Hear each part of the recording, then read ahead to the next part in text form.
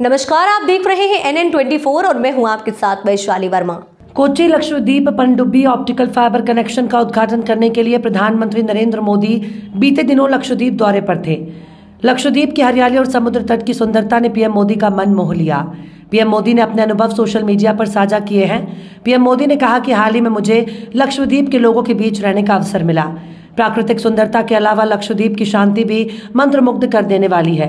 इसने मुझे ये सोचने का अवसर दिया कि 140 करोड़ भारतीयों के कल्याण के लिए और भी कड़ी मेहनत कैसे की जाए। स्नार्कलिंग एक लोकप्रिय गतिविधि है, जहाँ आप समुद्र की सतह पर तैरते हुए उसके नीचे के समुद्री जीवन का पता लगाते हैं। पीएम मोदी ने लक्षद्वीप के प्राचीन समुद्र तटों पर सुबह की सैर और समुद्र तट के किनारे कुर्सी पर बैठे फुर्सत के कुछ क्षणों की तस्वीरें भी साझा की।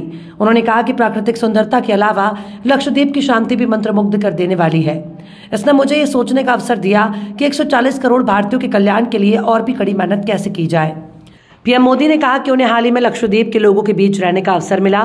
पीएम मोदी ने कहा कि वो अभी भी यहाँ के द्वीपों की आश्चर्यजनक सुंदरता और यहाँ के लोगों की अविश्वसनीय गर्मजोशी से चकित है।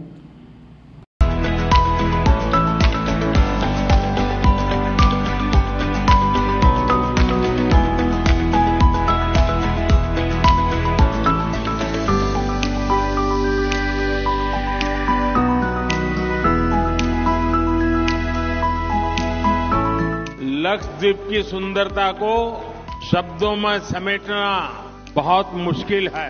जो लोग दुनिया के अलग अलग देशों के द्वीपों को देखने जाना चाहते हैं, वहाँ के समंदर से अभिभूत है।